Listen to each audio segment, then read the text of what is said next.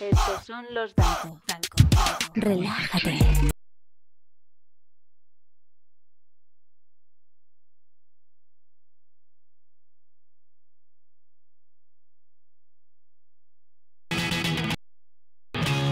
Es la hora de las tortas. Desde la galardonada Scanner FM en Barcelona, Scanner Slam Wrestling con Carlos Casco y Sam Danko.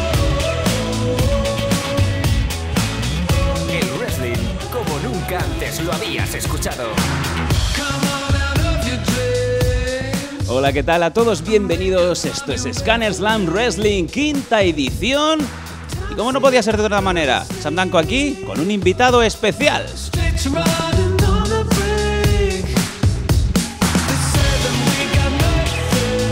Y estamos aún eh, saliendo de esa resaca, de esa fiesta que montó Scanner el otro día, madre mía. Yo me subía por las paredes, ¿os acordáis de Mickey Rourke cuando snifa la cocaína y empieza a subir por las paredes? Dice, ¿qué me has dado, chica? Pues más, o menos, algo así. Recordamos que este programa se emite en horario infantil, así que vamos a obviar todas las palabras sueces en la medida de lo posible.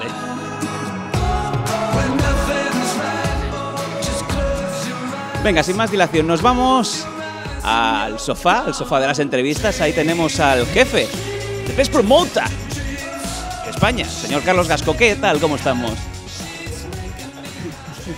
Hemos, hemos empezado a tope, ¿eh? hemos empezado ahí recordando esa magnífica fiesta de, de Scanner FM que tuvimos el jueves en el Popla Español.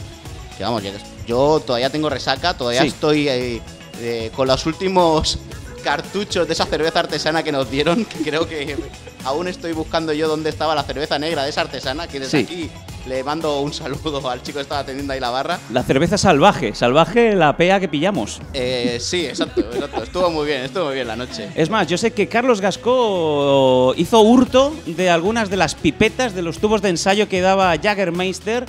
Eh, claro, no teníamos el bolso, pero bien que usábamos el bolso de mi mujer a modo de eh, bolso de canguro. Ahora eh, Mónica se está echando las manos a la cabeza. Un saludo a Jaggermeister. Eh, si os faltan unos cuantos tubos de ensayo, los tiene Carlos Gasco en su casa. Está haciendo pruebas, haciendo pruebas para las, las siguientes fiestas. Sí, las que van a ser en su propia casa.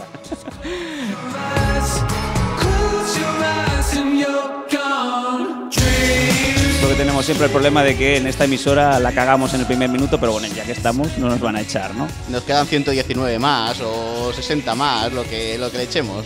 Sin más dilación, nos vamos a ir al invitado de hoy. Carlos, haz las presentaciones, por favor. Bueno, pues hoy tenemos a un invitado especial. Eh, creo que es el primer invitado internacional que tenemos. Porque siempre hemos tenido gente de aquí, siempre hemos tenido gente española, 100%.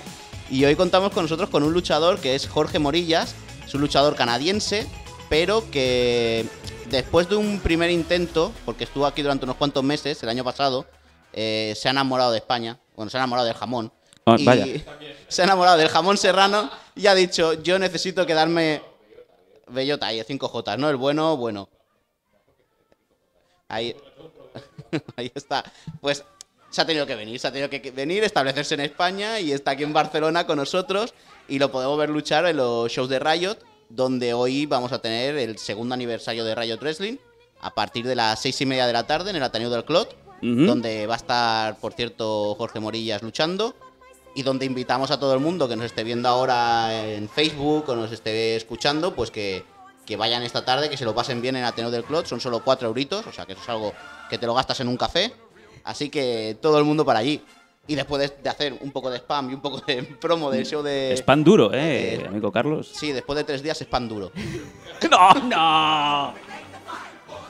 Después de empezar con mis chistes, eh, vamos a, a presentar a Jorge. Jorge, ¿cómo te da a ti? a- yo, eh, aparte de darte la bienvenida aquí, eh, ¿cómo empiezas tú en el mundo del wrestling? Porque siempre hemos preguntado lo mismo, pero ha sido gente de España y casi todo está la misma respuesta, de viéndolo por la tele. Pero tú siendo de Canadá, ¿cómo empiezas en el mundo del wrestling? La cosa es que en Canadá, en la provincia de Quebec, sobre todo, hay mucha historia, mucha cultura de, wrestling. Y el sábado por la mañana en la tele eh, lo, lo veamos, también el Saturday Night Main Event. Pues desde que soy pequeño yo, yo lo sigo viendo. Yo me acuerdo cuando Nikolai Volkov y Iron Sheik ganaron los campeonatos eh, por, por parejas.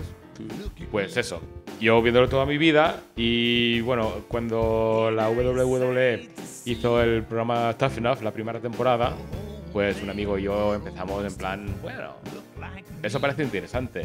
A ver si nos apuntamos, encontramos una escuela y nos apuntamos. Pero por falta de tiempo no lo hicimos. Mi hermano el pequeño, que también se llama Carlos, eh, él sí que buscó escuela y se apuntó.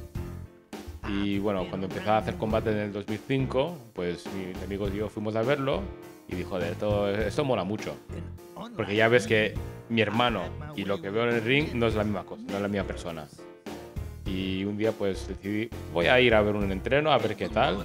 Y me apunté. Eso era en, en octubre del 2005 y estoy haciendo esto desde, desde entonces.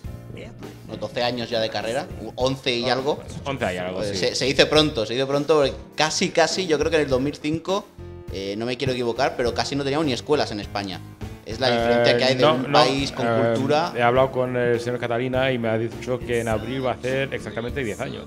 Exacto, o sea, contemos de 2007, o sea, 2005 tú empiezas a luchar cuando aquí en España vivíamos una época de, de- de desierto, de no había nada de lucha y, y te, te es fácil, o sea, me refiero, ahí en Canadá no te es difícil encontrar una escuela para No, entrenar. que, que, que va en, en Quebec hay un montón de escuelas y también te pasas en, en Toronto y los alrededores también. En Calgary había la, la la- el dungeon de, de la familia Hart. Ahora tienes el Lance Storm que, que tiene su escuela también. Hay, hay- hay muchísima cultura y hay acceso muy fácil. lo que decimos. Por, por desgracia aquí no tenemos esa. Ahora empezamos a tener esa suerte con varias escuelas en España, pero esto era impensable. En el 2005 cuando tú empiezas es impensable. Pero te digo la verdad, es que yo he llegado aquí el año pasado y, y lo que he visto me impresiona. Porque con lo que me estás contando tú y me han contado compañeros, a ver al nivel que está ahora, y no solamente el tema de la cantidad de afición, pero también la calidad de, de los shows, yo me esperaba algo mucho peor, pero me, me impresionó tremendamente.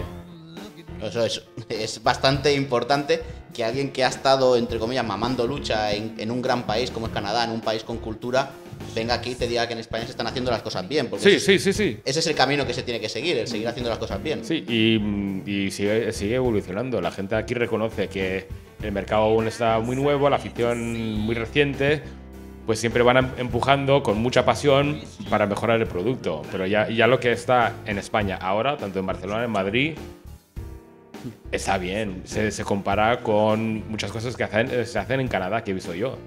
Eso te lo iba a preguntar, Jorge. ¿Tú has visto, o sea, venías con prejuicios eh, cuando Sí. llegaste aquí de "Buf, un escalón que vamos a tener que bajar como mínimo? Vamos a ver qué diferencia hay lo que yo estoy acostumbrado a ver allí con lo que me voy a encontrar. ¿Tú tenías mucho prejuicio antes de, de Bueno, y- entrar en una escuela aquí? Es, es que intentaba no tenerla. Pero claro, es que sabiendo que aquí la lucha libre era algo bastante reciente, no sabía qué esperarme. Yo me esperaba algo peor. Y cuando vi el nivel de producto ya hace año y medio, di, pues lo que está aquí está bastante bien, está bastante guay. Y lo que era hace un año y medio a lo que es ahora, también hay una diferencia. O sea, que tú has visto que sí, que la cosa está mucho mejor de lo que a lo mejor puede pintarse desde fuera o ese que hay un sufle que dices, bueno, no sabemos si esto va a seguir para arriba, se ve que hay mucha gente que se va apuntando a las escuelas, tú sí que estás viendo que hay nivel. O sea, Sí, una sí. persona como tú ya Hay- lo sabe. Hay nivel. Y otra cosa que también me, me ha impresionado es en Quebec hay mucha historia, mucha afición y mucha gente que no se lo toma en serio. ¿No? Pues eh, gente de, de 50 kilos y, o gente muy obesa que no entrenan o muy poco, no van al gimnasio, no se invierten en, en un traje de lucha libre que vale la pena, que parece un luchador y hay a tope. Pero llegas aquí y los pocos gatos que hay haciendo eso, pues van al gimnasio, se ponen fuerte, entrenan. Mira, en Riot hay entrenos casi todos los días. Mm. Y hay gente que están ahí casi todos los días. Lo- lo- hay, hay rookies que le dan caña y en seis meses evolucionan lo que yo he tardado dos años. Pues son palabras mayores, ¿eh? porque normalmente aquí siempre mm, está ese, ese San Benito, ¿no? De que cuándo es el momento de subirse a un ring por primera vez, porque desde que entras sin ningún tipo de base, ¿cómo sabes tú que ya estás preparado? Bueno, tú no lo sabes. Exacto. Siendo rookie, tú no lo sabes. Los entrenadores sí que lo saben. Y es también el entrenador de juzgar eh, cómo te va a poner en el show, contra quién, porque obviamente no va a poner dos rookies eh, que hacen seis meses que entrenan juntos. Va a poner un rookie con un veterano que le, le puede guiar porque tú aprendes a, a caer, a hacer el llaveo y tal, pero la educación real empieza cuando empiezas a hacer los shows. Cojo, por ejemplo, a, a mi rival de hoy, al Alex Ace, que, mm, bueno, para romper un poco la, la magia, por, por así decir, eh, yo le tengo mucho cariño y lo- le ayudo mucho.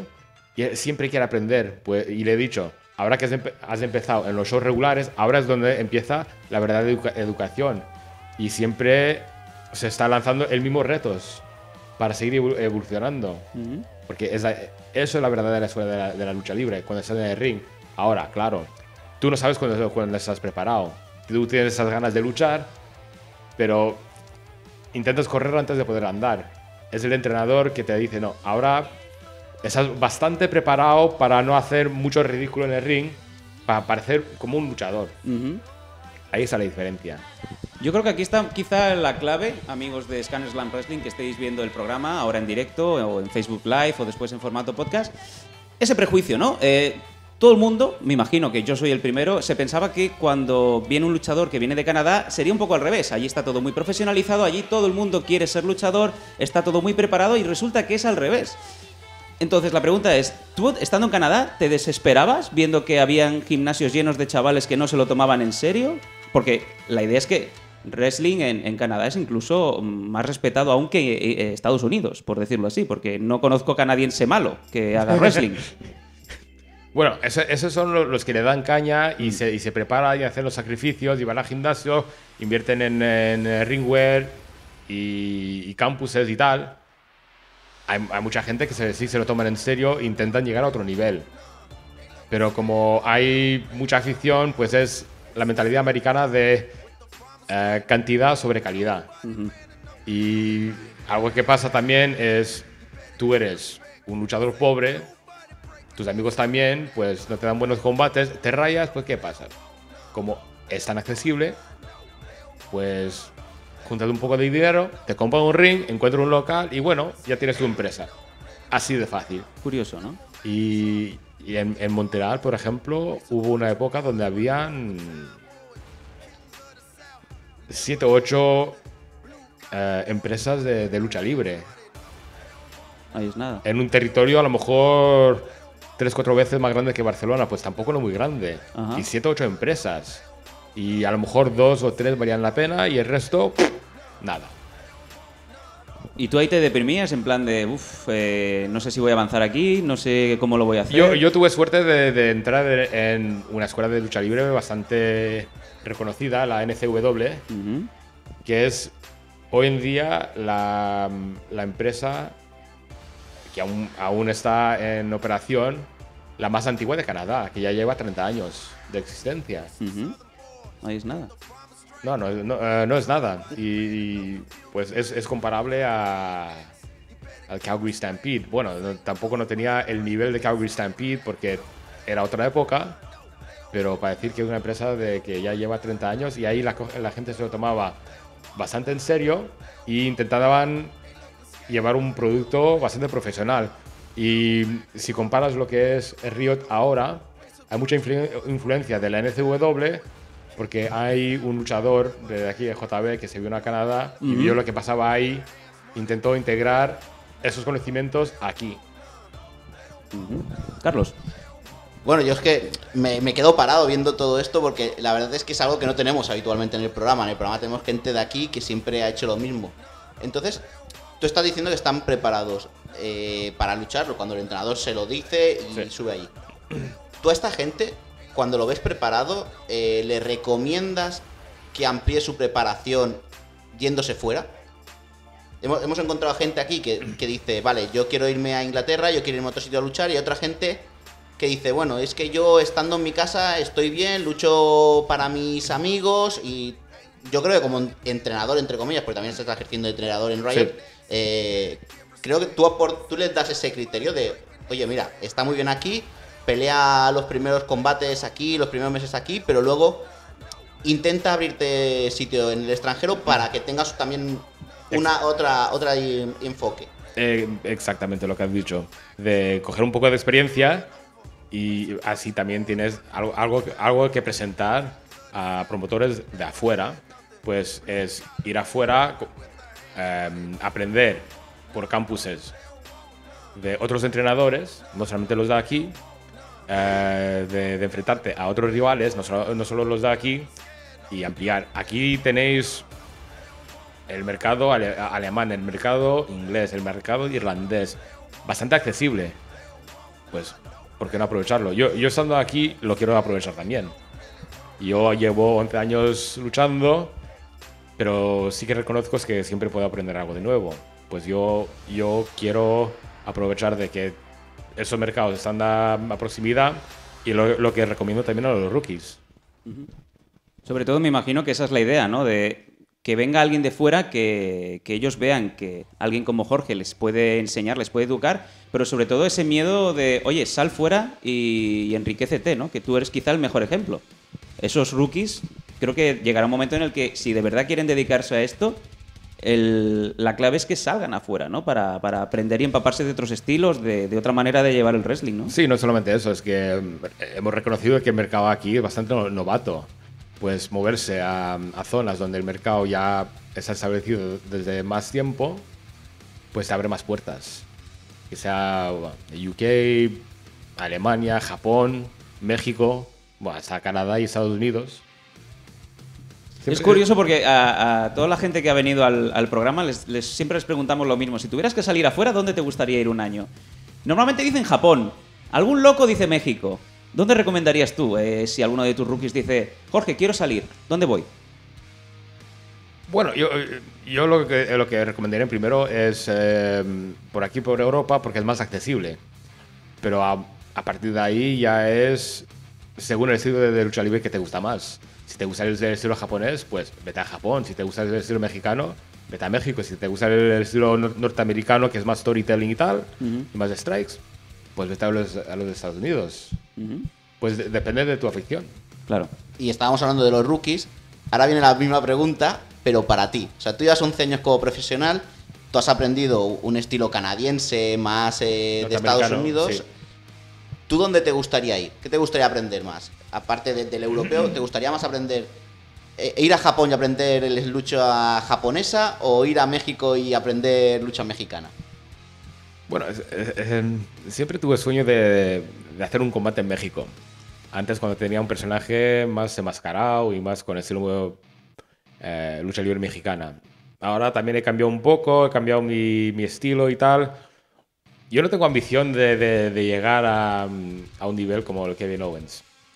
Pero sí que estando aquí es tocar un poco el mercado europeo a ver lo que sale. Hace 11 años que, que hago esto, ya tengo casi 40 años.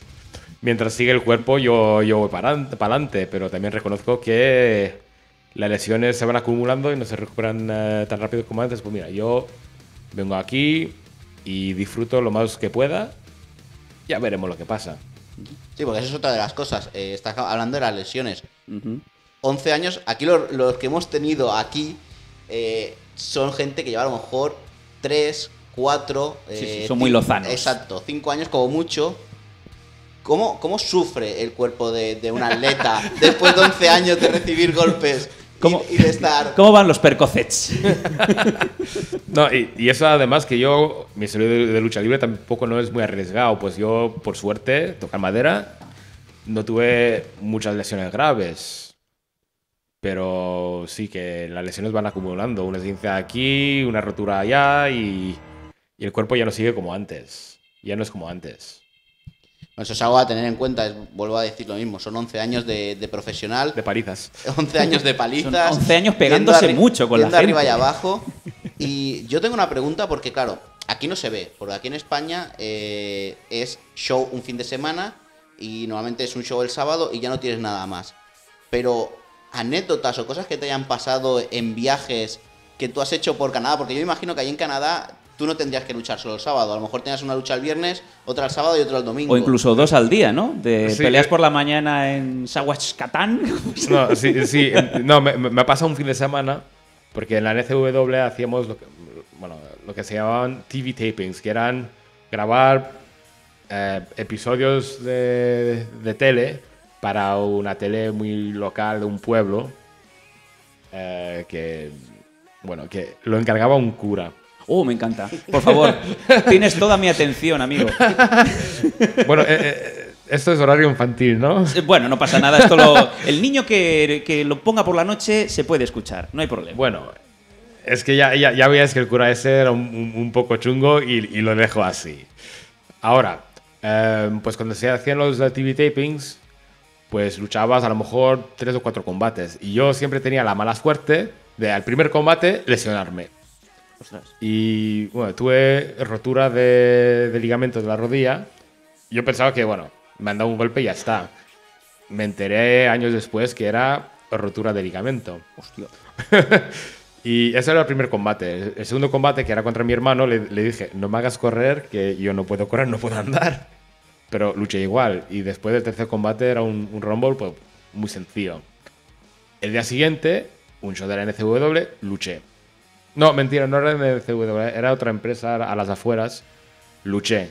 Y tenía los vendajes a tope en la rodilla. Y acabé la noche, ya no aguantaba, estaba llorando. Y el domingo por la tarde tenía otro combate. Wow. Y. ¿Y, y el cura que decía? Eh, Bueno, es Pray que- to God, get your rails. and- Bueno, es que, es que yo no era de, de sus favoritos, ya era muy viejo. Oh, oh, oh, oh, oh, oh, lo he pillado, lo he pillado. Por, por eso he preguntado si era horario infantil. Madre mía, la, la Priest Wrestling Asos- Alliance. Los bueno, cojones. eh, eh, es, es que el, el- el estereotipo de, de- en Quebec es que los shows de lucha libre, las salas de lucha libre son los sót- sótanos de iglesia. por favor, Por, por, sigue, al- por algo será. sigue, por favor. ¿Olía a Nenuco? Ahí no hay nenuco. Oh. Bueno, ostras, eh, te iba a decir, cuéntame alguna otra historia, pero es que esta yo creo que es, es espectacular. Pero me imagino que, aparte de los road trips, cuando tendrías ahí también eh, que hacer esos kilómetros con otros compañeros, habría locuras y más, ¿no? Sin decir nombres, ¿puedes decir anécdotas que te vengan en mente? De... Bueno, es que, es que anécdotas chungas que, que han pasado mm, ahora mismo no, no, no me viene nada, nada a la mente. Amnesia. Eh, Sí, bueno, sí, eh, eh, sí que una, una cosa que me, eh, me- me hizo mucha gracia es un... Fuimos a un show en, en- en Toronto y uno de mis compañeros eh, luchaba contra Michael Elgin, hizo un dive y se partió la frente en, en la valla. Ah, muy bien. Vale, pues después del combate le, le ponen vendajes y todo, bueno, no pasa nada. Lo de toda la vida. Y al volver, pues paramos a comer y lo- lo- los chicos de, de- de- detrás de, del... Como ahora, ahora se, me, se me olvida la palabra en español. Dilo en el, inglés. el counter. Eh, sí, el mostrador. El mostrador. Pues mi amigo ahí pidiendo su comida y el chaval está, Dude, you're bleeding. Había empezado a sangrar otra vez y bueno, les explicamos que, que, que era por lucha libre y tal y, y los chavales nos miraban, wow. Y le, le pregunta a uno, ¿y cuántos pagan para hacer eso? Y el otro le, le mierda, none, none of your fucking business. Wow. Podrías también decirle más que a ti, ¿no? En el Burger King o en el Popeye. Era, era un Wendy's. Uh, Wendy's, madre No, mía. no, pero es que horas de coche hemos hecho un montón. Y las historias que se cuentan y tal, o los cotillos, una pasada. Espectacular. Bueno, yo creo que es también una de las aspiraciones ¿no? de los eh, luchadores eh, españoles de tener anécdotas de, de este estilo, ¿no? Me imagino, a ver, claro, aquí salvando las distancias te tienes que pillar a lo mejor un, un alza y, y pegas ahí el chorizo, ¿no? Mientras vas camino de Toledo, no lo sé. Pero no sé, Carlos, si, yo me imagino que muchas historias se irán generando, ¿no? Yo creo que es uno de, aparte de ser wrestler, la gracia es esa, las anécdotas que surgen de, de esas horas juntos, ¿no? Los luchadores. Bueno, aquí yo he sido partícipe de un road trip a, a Bilbao, en este caso. Fuimos a Bilbao en un fin de semana. Y sí, sí que hay anécdotas, sí que hay cosas curiosas que, que te vas encontrando. Incluso cuando viene la gente de fuera aquí, pues eh, tienes anécdotas de, de la cena o del momento, o sea, no tiene que ser solo en el viaje. Yo creo que al final eh, eso es lo que te une también. Cuando tú vas en un viaje y estás con una persona a la que prácticamente no conoces o no has tenido, porque a lo mejor estás entrando con ella dos horas a la semana y ya está, ya no tienes más trato con ello porque pues eh, o está trabajando en otro sitio o solo os veis para la hora del entreno. Claro, cuando tú haces un viaje es cuando empiezas a tener esa- este cierto toque de amistad y entre comillas ese cierto toque de la anécdota que se queda ya entre vosotros, ¿sabes? Sí. Y eso ya, ya como que te da un, un buen rollito con, con esa persona. o- Esto que no salga de aquí, ¿no? En Exacto, plan de- sí. o- Sí, sí, como, como bueno, no voy, a, no voy a de- decir quién es, pero un pequeño cotillo. Es un luchador de la WWE que la- eh, eh, tuvo el contrato gracias a Pat Patterson. Uh, vale. Vale, no, pero, hablando- pero es que, es que la, la historia que cuenta él es que se encontraron en un terreno de golf. La historia que sé yo es que hubo juego de pelotas, pero no, no- no en un terreno de golf. Había 19 hoyos. Pat Patterson, para el que no lo sepa, es uno de los luchadores más ilustres de, de la WWE, canadiense también, pero que por lo Sí, visto de Montreal. chuta con la izquierda, chuta con la otra pierna y eso es un secreto de a voces que se sabía hasta hace poco que ya lo proclamó a los cuatro vientos, en donde también decían que si querías coger ese contratico, pues tenías que tocarle el pelo aparte. sí, sí. Pero, eh, no, pero eh, es muy majo el, el tío ese. ¿Quién, tu amigo o Pat? O sea, Pat. porque- No, el, otro, el otro un cabrón. Decir que muy majo Pat Patterson a lo mejor no te está dejando muy bien ahora mismo, Sí. después de, lo, de la anécdota, pero No, bueno. ¿era amigo es- del cura, Pat Patterson? No, no. no se Y conocían. ya juntando no, no. hilos ya podemos llegar a... Padre, vengo a confesarme, bueno, pues eh, rézale al palmón, ¿no? Eh, muchas anécdotas, muchos road trips. Me imagino que también habrás tenido, Jorge, mm, buena química con luchadores, pero también me imagino que habrás tenido mala química, tenerte que enfrentar a alguien que te cae fatal o que él a ti no te, no te puede ver. ¿Eso lo has llegado a subsanar alguna vez de me estoy pegando con un tío que ojalá le pudiera pegar un poco más fuerte?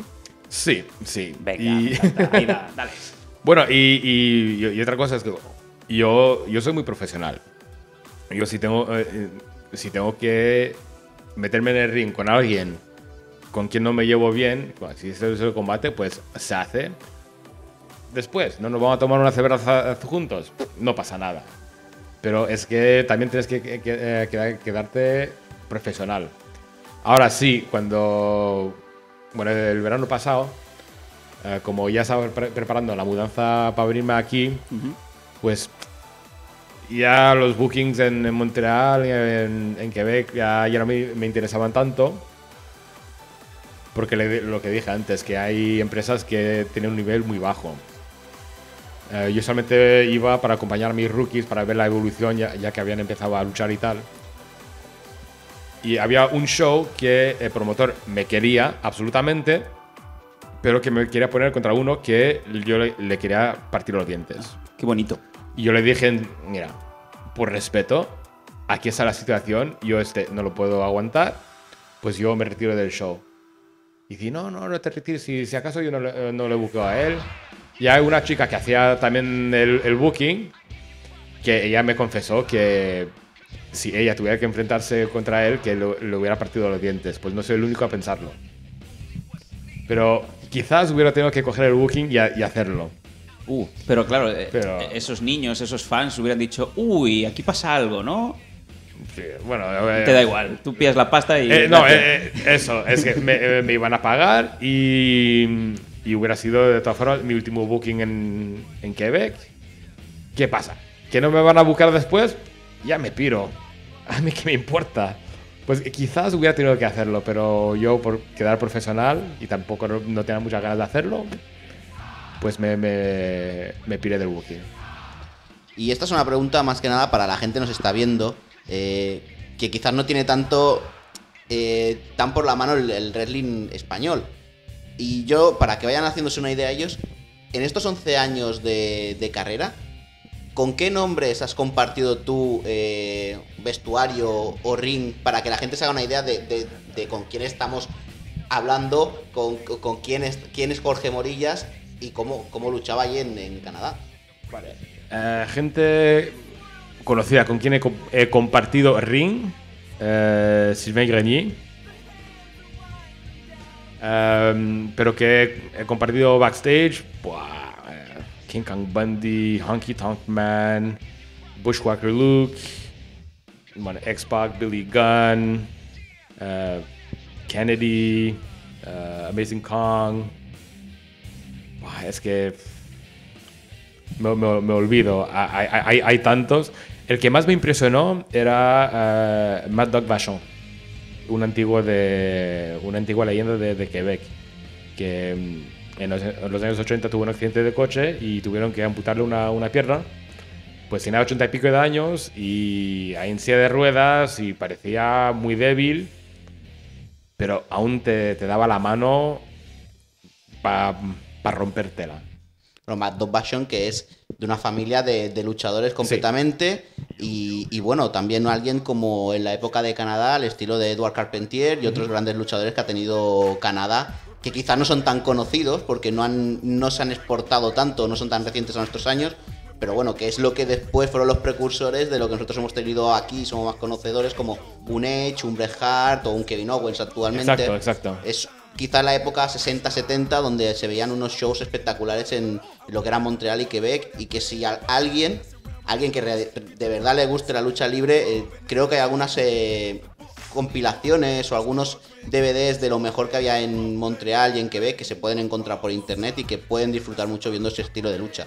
Más que nada también para aprender, quizás los rookies a pesar de que quizás ver algo en blanco y negro o ver algo de hace 50 años o 60 años les pueda resultar molesto, yo creo que es una buena manera también de aprender de cómo se luchaba antes, que es muy diferente a la manera que se Sí, lucha sí, ahora. tanto. Porque yo creo que tanto Matt Bachon como Carpentier son gente que hay que verla y disfrutarla. Sí, pero sin embargo, quizá el problema que hay aquí, Jorge, no sé si estarás de acuerdo, es que las nuevas juventudes, los nuevos fans, no les gusta. Lo ven demasiado antiguo. Es como si tú pones la tele y te encuentras una película en blanco y negro. Dicen, ah, esto no mola. Mm, ¿Te ha pasado de que hay chavales que te dicen, oye, me gusta más el producto de hoy en día que se ve en la tele, que se ve por internet? Lo antiguo no, no. Mm, Es que no hacen nada, es que no hay finishers.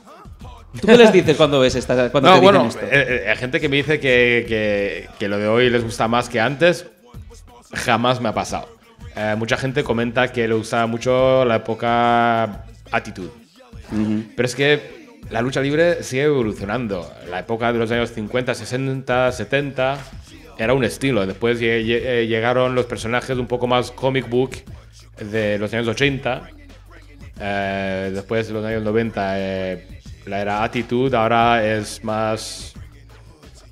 Es otro rollo. Además que ya la gente sabe que, que es falso, por así decir. Porque que es, que es teatro. Y el factor sorpresa, ¿no? Que también brilla por su ausencia. Sabes que normalmente dices, ah, va a haber un finisher. mm, Bueno, muy pronto, muy pronto, aún falta. Bueno, eh, eh, eh, esto, lo- lo comenté con, con un luchador de aquí hace unos pocos días. Que, por ejemplo, en, en Río te intentan que, bueno, tienes un finisher, pues a cada, a cada show intentas sacarlo de una manera nueva para que, para que la gente no se aburra. Sin, eh, sin embargo, el estilo norteamericano es. eh, lo haces de la misma manera. De vez en cuando lo sacas de una manera nueva, pero lo haces de la misma manera a cada vez para que la gente lo anticipe. Cuando John Cena hace su, su move, tira al otro en el suelo, lo mira y hace lo de la mano, pues la gente ya sabe, ah, va a hacer el Five Knuckle Shuffle. Eh, cuando Randy Orton eh, hace el duck de- del clothesline típico que hace, que o sea, se agacha, sabe que viene el Power Slam. Pues es que la gente anticipe lo que vas a hacer y que se animen para que, para que lo hagas. Es hacerle, hacer al público una promesa y lo, y lo vas a cumplir. O si eres malo, pues hace una promesa y al final no la cumples. Pero es siempre hacerlo de la misma manera. Pues el, el producto aquí y norteamericano es diferente. Ahora, lo de las épocas es... Hay gente que les gustaba la época de los años 80, pero que los, los años 90 ya era muy violento. Hay gente que le gusta lo del attitude y que lo de hoy en día no se compara, que es muy PG y tal. Es que cada época tiene sus fans. ¿Y, no crees que si ahora, por ejemplo, viniera un combate de los 80, que era todo brawling, que quizá no había finisher, que había alguna situación, la gente diría, ups, esto no está bien, algo ha pasado aquí. Quiero decir, eh, es imposible que te vuelva un combate antiguo, un combate de mat wrestling o un combate que no estás acostumbrado a ver como un experimento. Vamos a hacer algo diferente.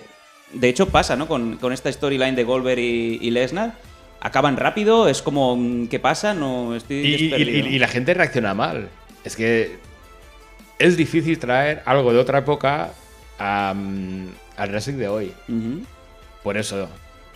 Porque la gente no está acostumbrada. Es que, aunque aquí intentan hacer cosas un poco diferentes, tampoco nos reinventas la rueda. Tú tienes que darle un producto al cual la gente está acostumbrada. Si tú, eh, si tú ves un combate de Edward Carpentier que hasta los golpes ya no hay tanta técnica, parecen más brutales, pero ya no hay, no hay tanta técnica como hoy. Y lo que dices, que no hay un finisher que, bueno, le doy un golpe en la cabeza y se y ahí se queda frito y le hace del pin. Hoy en día esto, esto ya no funciona. No. Mira, el body slam antes era un finisher. El DDT antes era un finisher. Ahora, ahora el DDT es preparar al otro para hacer a lo mejor una voltereta de, de la tercera cuerda. Una simple transición. Sí, pero coño, es que coges la cabeza del otro y se la tiras en el suelo. El body slam lo, lo subes a una al- altura y le, le- le partes la, la espalda. Ahora no, es lo coges, boom, para hacer un leg drop. No sé. Sí, sí, sí, sí. Pues es que el producto va, va evolucionando época por época. Pues a lo mejor dentro de 10 años habrá gente que escuchará el producto de, de ese día y decir, bueno, es que la época de, del Kevin Owens y tal era mucho mejor que lo que es ahora. Ya veremos. ¿Y tú no crees que ya está todo inventado? Ahora tú te pones, si fueras un booker que dices, bueno, voy a coger aquí un papel en blanco, ¿qué puedo hacer ahora? Es que se te ocurren muy pocas cosas ya. ¿Tú también crees, Jorge, que ya está prácticamente todo visto y por ver en el wrestling? Visto y por ver, no. Em, sí que sigo diciendo, no reinventas la rueda. Pero sí que si haces un poco de esfuerzo puedes traerlo de manera un poco diferente. Carlos, promotor. Eh, sí, Tú cuando, pero- buquea- cuando buqueas, ¿qué dices? Voy a, voy, a, voy, a, voy a partirle al madre aquí. Eh, no, yo es muy sencillo. O sea, yo creo que siempre lo he dicho, no me he escondido nunca. Y yo cuando soy promotor eh, y pongo un booking, lo que hago es saber si a mí ese booking me va a gustar. Probablemente yo con veintipico años, bueno, desde los sí, 26 años viendo lucha libre, eh, sé cuando una cosa me gusta y cuando no. Y normalmente por el por lo que recibo de, de del público que va a ver los shows, normalmente cuando yo buqueo y es algo que me va a gustar a mí, consigo que a la gente le guste. Entonces mi manera de que de, de buquear un show es decir, bueno, yo sé que esto a mí me va a gustar y probablemente a quien voy a poner sé que va a hacer un show que al público va a gustar. Y eso es algo que, que es uno de mis objetivos, es decir, eh, hacer una cartelera o hacer un car con algo que sabes que si a ti te gusta, probablemente al 90% de la gente le, le vaya a gustar. A eso voy a, voy a añadir una, una cosa. Sí, tienes que hacer una eh, cartelera que va a atraer a, a la gente. Pero para mí, una vez la gente está ahí, es importante, para mí, a lo mejor muy norteamericano como, como manera de pensar, pero yo quiero que cada, historia, cada combate tenga su historia.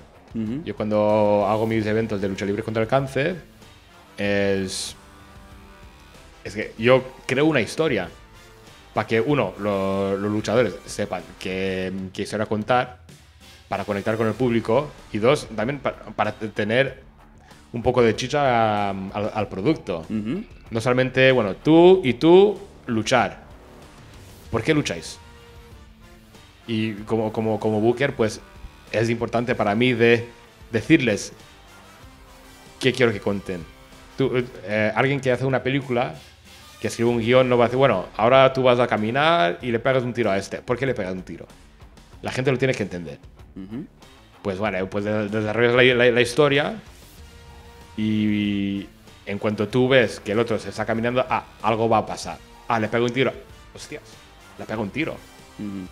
Y aunque mm, puedes tener un montón de escenas iguales, según la historia que cuentas, ahí es la diferencia. Ahí conectas con el público de manera diferente, eh, reaccionan de manera diferente, se invierten emocionalmente de manera diferente. Pues aunque no reinventamos la rueda, sí que tienes que pensar un poco de cómo quiero conectar con el público. Vamos a refrescar, ¿no? Sí. Quizá, bueno, has comentado una cosa muy que me gustaría que hablaras un poquito, es tus eh, shows contra el cáncer. Me gustaría que comentaras un poco tu iniciativa, desde cuándo lo estás haciendo, eh, cómo lo preparas. Vale, em, voy a empezar por a contar que en el 92 perdí un amigo de, de infancia que consideraba como un primo a la leucemia y eso me, me afectó bastante. Tenía 14 años en esa época y bueno, pues yo siempre quise hacer algo de, para el cáncer. Eh, cuando empecé la lucha libre, a los dos años me empezaba a mirar, bueno, a lo mejor podía hacer un show de, de lucha libre y recaudar dinero para el cáncer. Un amigo mío me iba a ayudar, pero también el día que le presenté la, la iniciativa, él también me contó que le habían quitado un botón en el cuello y que era un, un melanoma y falleció cuatro meses después. Vaya. Hizo la, la, la quimio y tal, pero no funcionó y falleció. Y eso también me afectó muchísimo. De ahí yo quería, pues, sí o sí, hacer un show de lucha libre contra el cáncer.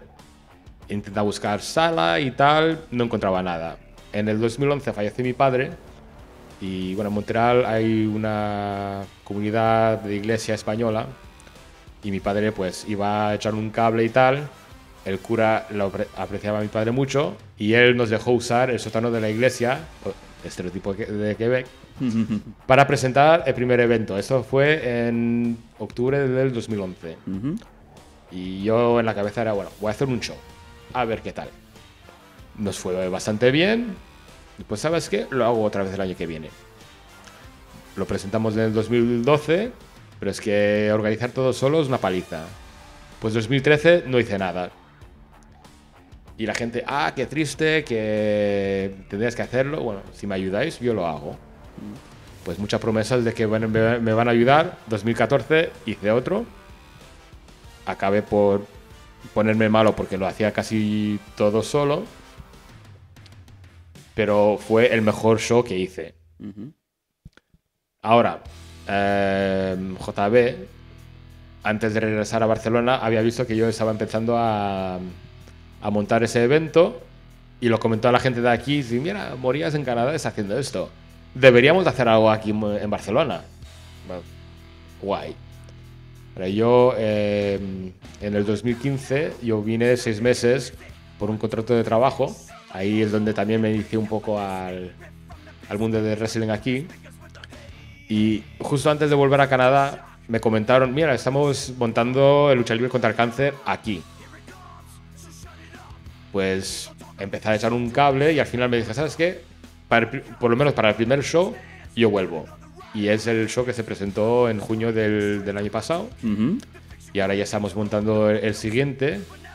Lo que está viendo aquí es que somos un grupo de gente organizándolo. Y no, no lo hago yo, yo todo solo. Pues para mí lo del cáncer es muy importante. Porque hay mucha gente importante en mi vida que han fallecido de eso. Y es el show es coger algo de negativo y transformarlo en algo de positivo. Estamos haciendo una diferencia en la vida de la gente, recaudando dinero para la investigación, para el apoyo a las familias y tal. Y la- realmente la respuesta de la gente siempre es muy positiva y como bien ha dicho Jorge, pues eh, otra cosa no, pero cuando los de aquí nos juntamos y nos ponemos todos a una, de verdad que, que la cosa funciona y buena, buena muestra de ello es eso, ¿no? que cada año está montando shows. Carlos, yo creo que es, de verdad, es una de las iniciativas que siempre hay que apoyar, ¿no? Hombre, él lo sabe desde el primer día que comentó esto. Nosotros estuvimos allí presentes, estuvimos en el show. Y, y bueno, antes, justo antes de, de entrar aquí a la entrevista, me lo has vuelto a comentar y ya te he dicho que lo que necesites y lo que te pueda echar una mano desde RCW o a nivel personal, ya directamente a nivel personal te lo puedo decir que lo que necesites ahí estaremos para, para echarte una mano y para estar de nuevo en el show, para volver a disfrutar y, y cuando quieras, aquí, aquí estamos para ayudarte. Perfecto, lo, lo agradezco. Y creo que en este caso también Scanner y, y todos los que estamos aquí estamos para, para ayudar en lo que haga falta. que no haga falta ni decirlo. Aquí estamos desde Scanner, desde Scanner FM, Scanner Slam, los Danco, toda la gente que compone también la emisora de Scanner apoya la causa de Jorge Morillas y su lucha activa contra el cáncer año a año. Jorge Morillas.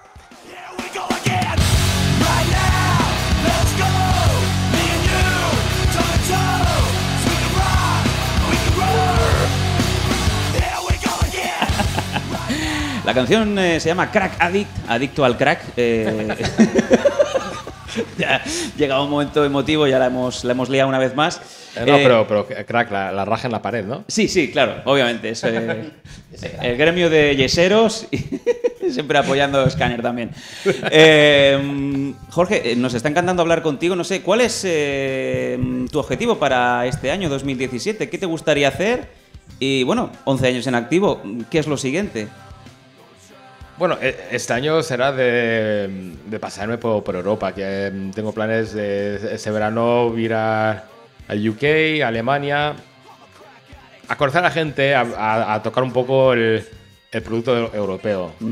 Y bueno, también quiero hacer un combate en Madrid que aún no he ido, pero eso, es, este año es más pasárnoslo bien. Conocer a más gente, ver otro- otros productos, otros estilos. Eh, y después ya, ya veremos, el año que viene ya, ya veremos lo que- si vamos para adelante con otro tema. Bueno, pues aquí siempre van a estar las puertas de Scanner abiertas para que nos cuentes lo que quieras, porque como bien decimos, Carlos, cuando nos ponemos todos, se hace. Correcto, cuando vamos todos para adelante, todos nos vamos en la misma dirección, al final conseguimos las cosas. Sí, sí. Pues Sí, bueno, yo, déjame, Sam, solo una cosita. Estamos hablando mucho de su carrera, estamos hablando mucho de todo. Pero es que esta tarde este hombre se, se parte la crisma contra un tío de metro noventa y pico. Maravilloso. Entonces, eh, ¿qué, qué podemos ver esta tarde en Riot en el segundo aniversario? muchas- has muchas tenido hostias. Dos contra él, ¿verdad? ¿Te has tenido ya? Sí, sí. O sea, este es el tercero y el casi definitivo, el, el que digamos pone punto y final a esta historia que tienes con, con Alex Ace, que es el, rival de, esta tarde. Sí, bueno, es que un rookie que, que quería mm, traerse su plaza en, el roster y bueno, yo, yo en diciembre le, dije bien claro que si quiere, si quiere una plaza en el roster tiene que pelear, por, pelear por, por él. Pero claro, yo, yo también he- recién llegado aquí, me, me mudé el 4 de diciembre y el show era creo que el 17 por ahí, bueno, pues yo, no, yo ni, ni siquiera tenía mi, eh, mi ring gear, nada, y él decidió pues enfrentarse a mí. Pues hacer un ejemplo de mí.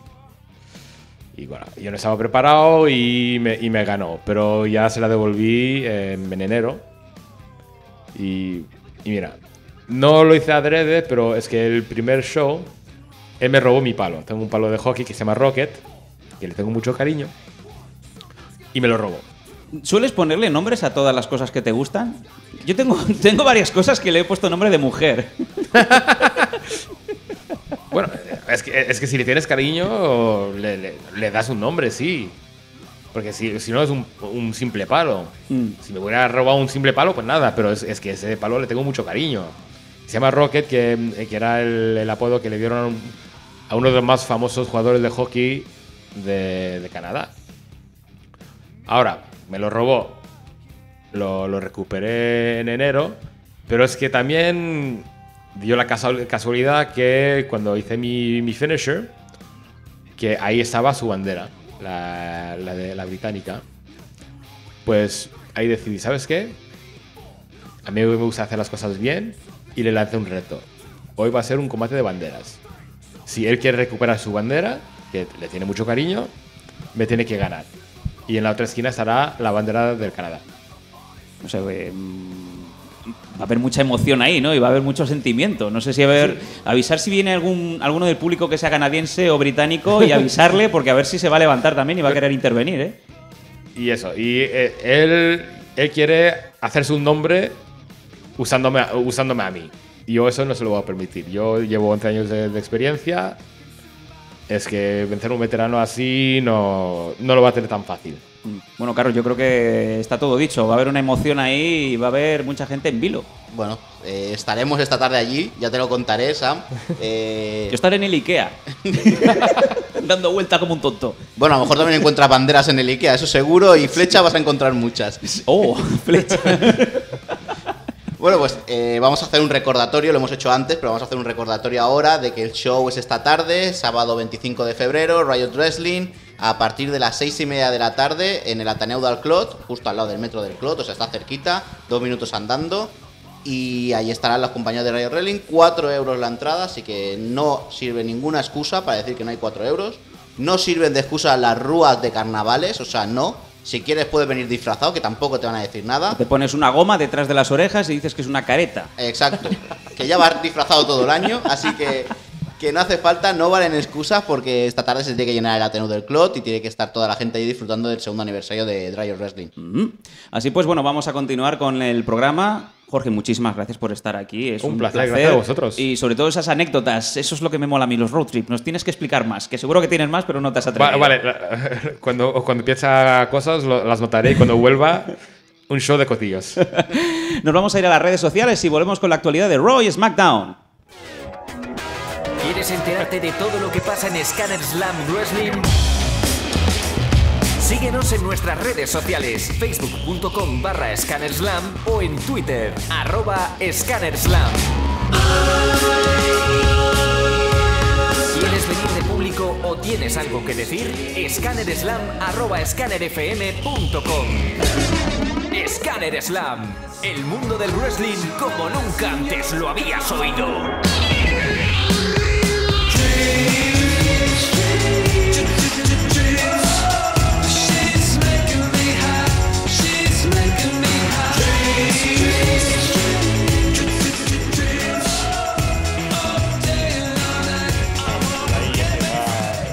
Y ya estamos de regreso. Carlos, rapidito, ¿qué ha pasado esta semana en Raw? ¿Qué ha pasado? ¿Qué ha pasado con Owens, la amistad con Jericho? ¿Qué, qué está pasando? Vamos. Bueno, está pasando lo que todo el mundo preveía. Que Owens y Jericho no iban a aguantar mucho tiempo juntos. No, a ver, son- no. es lo típico. Eh, siempre la envidia puede. Siempre el yo tengo esto y tú no lo tienes. Y yo que pensaba que eso solo pasa en España, amigo. Eh, no, creo que pasa en todos los países del mundo. Pero al final lo, lo que se esperaba pasó, se, se pegaron entre ambos, se han... No han quedado muy bien, eso que pretendían ellos de una lucha entre amigos en WrestleMania, puede ser una lucha de, de enemigos. Y tenemos a Owens que va a luchar contra Goldberg en Fastlane por el título universal. Sí. Y tenemos a Jericho que no tiene rival. Porque el rumor que corría era un Jericho contra Sami Zayn No. por el título de Estados Unidos. Uy, uy. Pero eh, la semana pasada Samoa Joe, como re- recordaremos que Samoa Joe ya ha vuelto de nuevo a. Bueno, ha vuelto. Ha empezado, ha debutado en WWE en el roster principal, venía de NXT. El hombre que hace daño a los luchadores, ¿no? Correcto, se cargó a Seth Rollins, le, también le dio una soberana paliza a Roman Reigns y Roman Reigns también se fue quejándose de, de los riñones. Y los niños aplaudiendo ahí. Y ahora pues el pasado, bueno, llevan dos semanas donde Samoa Joe está atacando a Sami Zayn y el rumor está en que Samoa Joe puede ser el rival de Sami Zayn en Fastlane, lo que dejaría a Chris Jericho sin combate en, en este pay-per-view, que es el próximo 5 de marzo. Este lunes, día 27 de febrero, tenemos el último, el último Raw antes de Fastlane. El Go Home Show. Exacto, falta un, faltan combates por decidir. De momento solo hay cinco eh, para este pay-per-view. Imagino que habrán dos o tres más que se anuncien. Así que el- uno debe ser el de Jericho. Por lógica, uno tiene que ser el título de los Estados Unidos de, de Jericho que haya por allí anunciado. ¿Y no crees tú que a lo mejor Jericho puede interferir en el combate de Owens y, y Goldberg para causarle un poco justificar ese tan tan hablado, tan rumoreado combate entre Jericho y Owens en WrestleMania? Yo creo que esto lo dejarán más para Raw. Yo soy de la opinión de que la storyline entre Jericho y Owens, eh, con el buen micro que tiene Jericho y con el buen micro que tiene Owens, porque ambos son buenos luchadores, pero son muy buenos al micro, creo que Raw, que es un programa de tres horas, necesitas unos segmentos de, backstage o unos segmentos de, speech donde sean segmentos buenos y que te lleven a una WrestleMania en realidad divertida. Probablemente en un combate en Fastlane no vas a conseguir lo mismo que con un Jericho saliendo con la lista y tener una lista de 3 kilómetros de largo de papel y que solo ponga Kevin Owens en grande. Y que diga que su, y que, diga que Pues- su, su rival es Kevin Owens. Pues quizás sería divertido, ¿no? Sentarse en medio del ring, como ya hacía con cuando sus eh, 1000 Halls, ¿no? Y empezar a decir Kevin Owens, número 2, Kevin Owens, número 3, Kevin Owens, irse a publicidad, volver, número 29, Kevin Owens, número 30, Kevin Owens. Claro, yo creo que, que la rivalidad gana mucho más así que no teniendo a Jericho en medio de un combate entre Goldberg contra Kevin Owens. También corre el rumor, que es algo que a mí no me gustaría personalmente, porque Kevin Owens lo, con- lo considero un luchadorazo, pero corre el rumor de que el combate de Goldberg contra Kevin Owens puede ser perfectamente un Goldberg contra Lesnar 2. Es decir, Sí. que Goldberg lo derrote en- con un Spear y un Jackhammer en, en un minuto y medio para crear ese, esa magia alrededor de Goldberg de que es un destructor, de que ha conseguido todo en un minuto y pico y que se va a enfrentar con Lesnar para volver a demostrar que es el mejor en WrestleMania. Yo creo que aquí en WrestleMania ya ese combate de minuto y pico no lo vamos a tener, porque si no, con lo que van a entrar a WrestleMania, no me, no me hagáis esto. Veo a Carlos ahí muy rojito, enfadado y rompiendo su, su no, ticket. no, no, la verdad es que no. Al fin y al cabo, mira, voy como prensa, no tengo que pagar ese ticket de 200 y pico euros, pero sí que considero que WrestleMania tiene que ser un combate con cara y ojos. Estos combates de un minuto y medio, dos minutos están muy bien. No me gustan para Survivor Series, pero sí que fue un momento sorpresa que nadie esperaba. Ujú.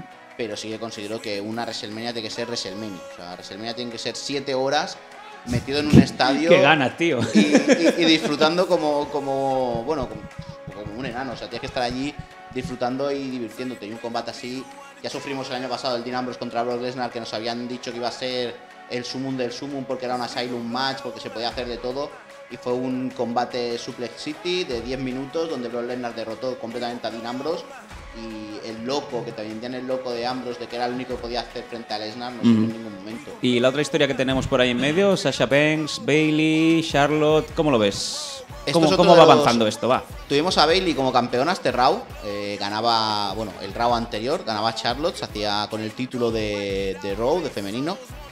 No era esperado, o sea, los. eh, lo que se pretendía hacer con Bailey era que ganase en WrestleMania y que Bailey ganase en WrestleMania contra Charlotte y que luego en Payback, que se celebra el 30 de abril en San José, eh, que es la localidad natal de, de Bailey, allí retuviese el título contra Charlotte de nuevo.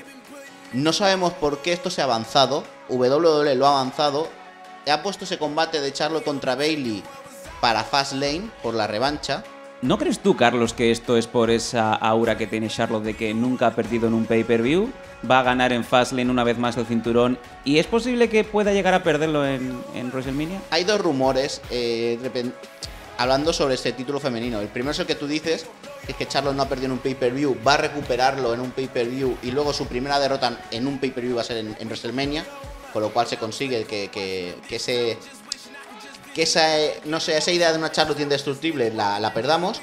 Y el otro rumor, que es el que suena ahora, es que Bailey va a retener el título en Fastlane y en el lunes siguiente Sasha Banks va a hacer su turn heel Uh. y el combate que vamos a tener en WrestleMania va a ser un Sasha Banks contra Bailey por el título de, de femenino de WWE, de Raw en este caso. Sí, pero no más triples amenazas, por favor, ¿eh? Ya No, estamos cansados eh, de es que la, la- todo lo que la les idea queda. que tenía WWE era hacer el Bailey contra Sasha Banks en SummerSlam Ujú.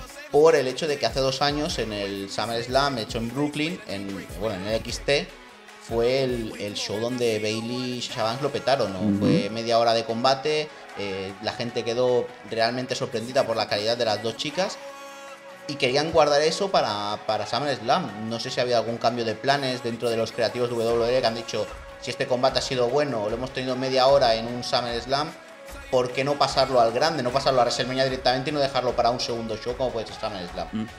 Es lo que, lo que sabemos. Luego tenemos un combate por parejas, eh, donde en este caso Carl Anderson y Luke Gallows van a poner los títulos en juego contra Enzo Amore y Big Cass. Eh, No me gusta. No, no, ven- no vende, pero sí que otra vez volvemos con todo lo que se cuece en backstage y en estas cosas. Es que Enzo y Big Cass van a tener su push grande a partir de WrestleMania y que el, mayor push que le puedes dar a una pareja es dándole los títulos. Eso es lo, lo que sale. Lamentablemente, Anderson y Gallows, pues pare- parece que son campeones de transición, ¿no? A eso hemos Sí, quedado. Y no han llegado al nivel que llegaron con una aura, les entraron muy mal. O sea, fue una manera muy. Muy lo- pobre. sí, a los Samoa Joe, Exacto, muy eh. pobre hacerlos debutar. Se crearon muchas expectativas porque tenías a Finn Balor que podía haberlo traído en el mismo momento, lo dejaste hasta el draft. eh, lo juntaste durante cierto tiempo con AJ Styles, pero no los veías como un grupo. O sea, Hmm. los veías como AJ Styles está a años luz de lo que es The Club, de lo que es Anderson y Gallows. Y al final han conseguido se han quedado como un tag team más. No tienen ese aura, esa. Han sido también absorbidos un poco por el aura New Day que ha, ha copado todo lo que era la división de parejas en, en este año en Raw. Y que parece que no van a tener ni combate en, en WrestleMania New Day, porque son los presentadores, los anfitriones de WrestleMania. Y parece que se van a quedar con solo esos segmentos de, de speech o de, de presentar a gente durante Pregunta para Mr. Morillas. eh, ¿Tú también te has cansado ya de New Day? A mí me encantan. No. A mí me encantan. No. No, bueno, es que, es que le- les, das un combate y, y- y lu- y luchan bien. Y, pero es que cada vez que salen animan, animan al público. Que te gusten, que no te gusten, no puedes impedirte de, entrar. New Day Rocks. New Day Rocks. Y te voy a decir una cosa: el Kofi Kingston, antes del gimmick eh, New Day, yo lo miraba y, ya. Este tío ya, ya, ya no me gusta, ya no ya no me llama. Eh, su nivel de, de lucha había bajado, el personaje ya pff, reciclado y todo lo que hacía de guay era las casi eliminaciones en la, en la Rumble. Pero aparte de eso, los, como- los combates fatal. Llega New Day, bueno, al principio son, son heel, bueno, a ver lo que pasa. Y, lo- y cuando se convirtieron en face es que los combates molan mucho, para mí. A lo mejor no, no todo el mundo comparte la, la opinión, pero lo que han hecho con Kofi Kingston, con Biggie, que cuando estaba con Dolph Ziggler era un negro que habla como un blanco. Uh, uh, uh. Por aquí conocemos uno que es un enano que quiere ser negro, pero eso es otra historia. Sí, Sí, he visto sale lo- en he- he visto Playground. los videos. Lo- lo- creo que lo tenemos por aquí. un momento, no es broma. O sea que tú está, apoyas a New Day, pero el hecho de que a lo mejor se queden fuera de WrestleMania también es indicativo de que no saben muy bien qué hacer ahora ya que no tienen los cinturones, ¿no? Quizás, lo- quizás que los quieren guardar ahí presentes, pero que no saben qué hacer exactamente con ellos. Es posible.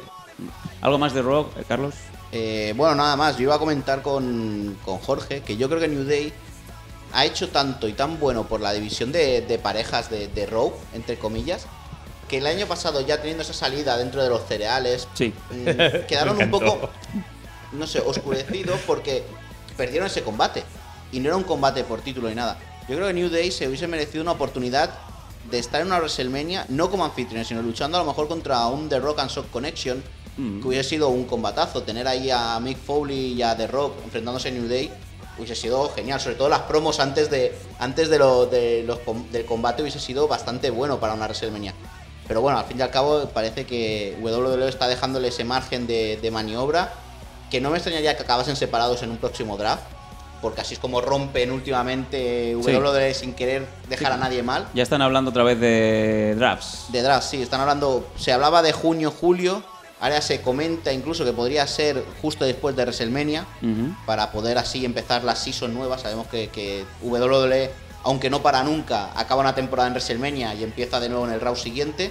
Con lo cual se rumorea que podría ser cercano a abril para que la gente empezase esta season nueva con, con caras nuevas también. Pues has dicho que New Day se han oscurecido. Oh, Sí, bueno. El chiste racista de. Ya es el segundo de Carlos hoy en el programa. Nos vamos. No ha sido, no ha sido intención de chiste. no intención Te iba a de decir, bueno, aquí en la pastelería Grenier te sale una rata, ¿no? Donde están las. Los, los croissants y en, en América, pues de una caja de cereales salen tres afroamericanos, ¿no? De 300 kilos entre los tres. En fin. Nos vamos a SmackDown, venga. Chiste de racista, cortesía de Carlos Gascó. Carlos, ¿qué hemos tenido en SmackDown esta semana? Pues en el SmackDown hemos tenido. Mira, seguimos hablando de gente afroamericana. Venga. No, no podemos parar. No Eh, podemos parar de crear. La mala suerte la hemos tenido con, con Naomi este, esta semana porque ganaba el título en el Elimination Chamber. Se hacía con el título femenino. eh, máxima ilusión porque Naomi va a tener el título para llegar a Orlando, que es su ciudad natal, y defenderlo en WrestleMania 33. Ujú. Pues justo en ese combate se lesionó. Se lesionó y lo que parecía que no era grave, eh, reviste más gravedad de lo que se pensaba. Aún no han dicho eh, cuánto tiempo va a estar alejada de los rings, pero sí que le han hecho pues eh, dejar vacante el título. Dejó vacante el título, tuvimos un combate de Alexa Bliss contra Becky Lynch por el título de, de las chicas. Ganó Alexa Bliss, Qué bien. y tenemos a Alexa Bliss como la segunda, bueno, la primera luchadora que es dos veces campeona del título femenino del SmackDown. Después de ganar ese combate, tuvimos la Battle Royale, donde se iba a decidir quién iba a ser el rival de Bray Wyatt en, en WrestleMania. Llegaron al mismo tiempo Luke Harper y AJ Styles, al mismo tiempo. A ver. Como al mismo tiempo, vamos a ver. Esto es Royal Rumble 95, Lex Luger contra Bret Hart, que caen los dos al mismo tiempo y se les dan a los dos como ganadores de la Royal Rumble. Hmm. En ese año se hizo bien. Hizo bien. Tenías que mirar mucho la repetición para ver quién ponía el pie primero. Que ya es casualidad que lo hicieran tan bien, ¿eh? Solo había una toma. O sea, Exacto. solo había una oportunidad. Te estaba todo el mundo mirando. No, no podía salir mal. Este año solo había una toma igual, cayeron a J Styles y Luke Harper al mismo tiempo, pero cayó J Styles antes. Vaya por Dios. Mm, ¿Qué hicieron? No se ha visto una repetición. O sea, Oh, no, no han hecho una oh, repetición. El chiringuito de jugones. Exacto, tirando, tirando de cámara, no se ha visto una repetición clara donde se dan los pies de J Styles que caen antes y por lo tanto que Luke Harper había ganado el combate. Lo que se hizo fue sacar a los árbitros, lo típico, a J Styles dice que era ganado, Luke Harper dice que no, que él ha sido el ganador.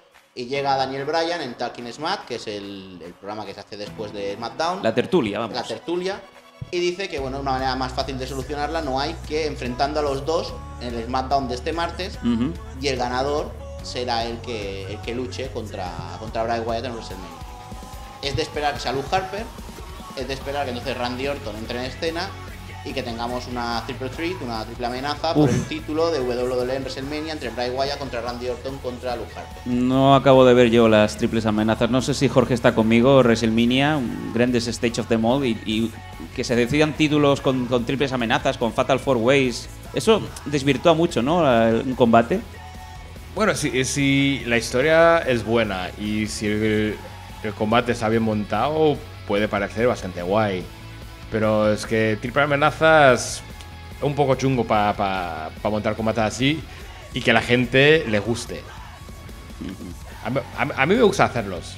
Me gustan los triple amenazas porque también te da un poco de, de- un poco más de libertad y tal, pero no, no es fácil montar algo que la gente le guste de verdad.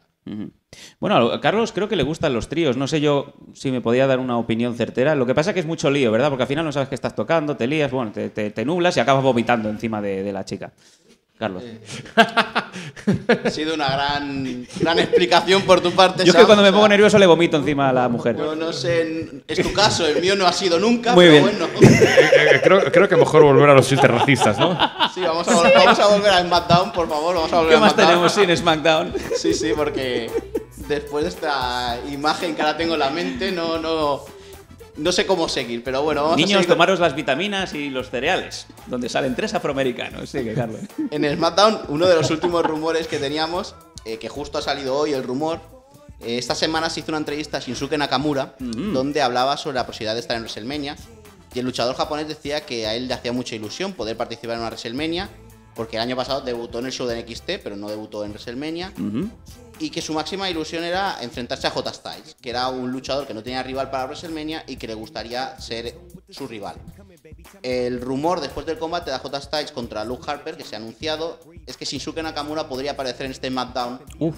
a costarle el combate a J Styles. Oh, o sea, parecería como Gil, como, como chico malo. Exacto, como Heel o, o bueno, en este caso yo creo que cuando aparece Nakamura no va a ser Heel nunca, Es imposible. porque la gente lo va, lo va a apoyar. Yo para mí, o sea, a mí me venden un Nakamura contra J Styles en WrestleMania 33 y lo compro. O sea, Sí, sí, compras, compras la entrada en reventa, a 3.000 partir- pavos, a eh, partir de ahora lo compro, lo, lo compro porque es, creo que es uno de los mejores combates que podríamos ver en WrestleMania y por dos luchadores que son dos auténticos cracks. Este es el último rumor que hay. Pero es que muchos rumores hay. También han hablado de que Shane McMahon puede volver a salir a la palestra, enfrentarse Sí. a AJ Styles. Quizá puede que esté todo ahí muy candente por el hecho de, según lo que decidan con el combate de Harper y AJ Styles, puede salir el señor McMahon. tener- Es que eh, todo es factible. Sí, luego también tendremos este martes en el Myth TV, vamos a tener de invitado a John Cena, Mm. con lo que ya está bastante claro que va a ser para empezar la rivalidad de, de Myth y Maris contra John Cena y, y Nikki Bella en, en WrestleMania 33. Ah, Maris. que, se, que va a ser el, el- el último combate de Nikki Vela, por lo menos por un tiempo, debido a sus problemas otra vez de cuello y a que no puede. Ya sus problemas también en, en brazo derecho, que le está, está perdiendo fuerza en el brazo derecho. de- Ah, sí, no sabíamos, no sabíamos eso. O sea que Nikki no está para luchar. Nikki ¿no? no está al 100%, eh, ya se dice que va a ser su último combate, que probablemente va a seguir como embajadora de WWE, eso seguro, y que va a estar allí pues eh, ayudando. Tiene el Total Velas, este tiene el programa de televisión, Ujú. puede, puede trabajar mucho detrás de cámara, es una chica que tiene mucha experiencia dentro de WWE Muchas cosas tiene, sí. y que además es muy muy querida por el público. Yo es una de las cosas que me quedé me quedé sorprendido aquí en Barcelona cuando la gente todavía aplaudía más a Nicky Vela que a Alexa Bliss. Eso es, eso impensable, perdón. O sea, Alexa Bliss es el mejor tren inferior que he visto en mi vida, eh, fuera de, de según qué páginas web. Y realmente yo, todo lo que quiera hacer Alexa Bliss tiene mi bendición. Eso lo diré. Yo se lo- Todo, todo, todo. Todo. O sea, le, per- le perdono lo que quiera. Bueno, bueno, ya. Ya se lo diré en WrestleMania, no te preocupes, Sam, ya se lo diré. Oh, qué cabrón. Bueno, ¿ves el combate o no lo ves? Es eh, otra vez Miss contra Sina. Recordemos Sí, sí, lo aquel veo, infame lo- main lo event. Lo veo y lo firmo. O ¿Qué me dices? Lo Sí. veo y lo firmo, sí. Es ¿Te muy gusta? claro. No es que me acabe de gustar, pero sí que creo que es lo que va a pasar. Eso está, vamos, yo creo que al 100% claro que va a ser un, un combate de parejas mixto y que ya estaba planeado. O sea, la idea primera era de Miz y Maris contra Dean Ambrose y Rene Young. Y al final han cambiado por, por Nicky y John, y John Cena. Bueno, en ese caso creo que lo veo mejor, ¿eh? El, el Sina Miss, quizá Claro. por la repercusión que puede tener. Que Sí, no... de, de poner por primera vez en un ring a René Young a poner a Nicky Vela, que ya tiene una experiencia, creo que salimos ganando los aficionados en ese sentido. y por otro lado también salimos ganando volviendo a ver a Maris en un ring. Sí, sí, sí, yo, sí. yo, yo, yo prefiero a René, es canadiense. Mm, ¿Sabes que a René la mandaron seis meses a Nueva York a quitarle ese dichoso acento canadiense que no se, perci- no se percibía por ningún lado? Esto lo dijo ella en un podcast. Dice, me mandaron seis meses a Nueva York, me pusieron el bolígrafo en la boca y hasta que no perdí mi acento no, no pararon. Anda, qué malos son con los canadienses. Sí, son mala gente. Mucho resquemor que tienen. We don't talk bad English, eh? Eh. ¿Tenemos alguna cosita más de SmackDown, Carlos? No, SmackDown tenemos ahí la- el título de parejas, que normalmente, o sea, y todo indica que será American Alpha contra The Usos en WrestleMania. No brilla, ¿eh? El título de parejas en no, SmackDown. no, eh, tuvieron, para mí el título de parejas en SmackDown perdió cuando no se le dio el título por primera vez a American Alpha. Eh, la coña de Rhino y Heath Slater estuvo muy bien. No. pero eh, American Alpha eran los, los grandes los grandes estandartes de, de- de esa subida de- al roster principal eran los que venían con un push muy grande de, NXT y tenían que haber sido los campeones, hubiese conseguido los campeones que la gente hubiese querido. Te voy a soltar un nombre. Kurengol. Bueno, hay, Kurengol apareciendo y haciendo alguna cosita con American Alpha. hay un rumor muy grande que es el que Kurt Angle sea como fue con The Greatest American Tag Team, que era Charlie Haas y Shelton Benjamin, que vuelvan a hacer lo mismo, pero en Pues- este caso con Chuck Gable y- y Jason Jordan. Sería un grandísimo como, push men- y... como mentor. Pero bueno, Kurt Angle también está sonando mucho como eh, posible general manager de Raw, sustituyendo a Mick Foley, Bueno. porque tiene esa operación de, de cadera y probablemente vaya a estar tiempo alejado. Y que últimamente las cosas en WWE con Mike Foley no van muy bien. Sí, algo pasa, ¿no? Algo pasa, no algo acaba pasa de ir con muy Foley. bien. en fin, bueno, yo creo que ha sido el resumen rápido de Raw, de SmackDown. Eh, valía la pena pues pasarnos de hora porque es un placer eh, haber tenido a Jorge con esas anécdotas. Un luchador que viene del hielo, prácticamente, con su palo de hockey eh, ya recuperado, con su bandera canadiense en juego y que de verdad es un placer y esperamos pues tenerlo una vez más próximamente. Apoyando cualquier causa tuya, la causa contra el cáncer. Y todo con lo- platillos, ¿no? Sí. Vale. Los voy a ir apuntando. Jorge, un placer y esperamos que todo te vaya a, func- eh, a funcionar fenomenal y que te veamos por aquí otra vez. Gracias a vosotros. Carlos, nos despedimos. Pues sí, nos despedimos y volveremos pronto. Bueno, marzo, en marzo volvemos. Sí, claro. eh, tengo la agenda un poco justa, pero ahí estaremos y si no, pues ya viene el gasco, el gasco solito. Ha sido un placer, mi nombre es Sandanco, esto es Scanner Slam Wrestling. Nos vemos.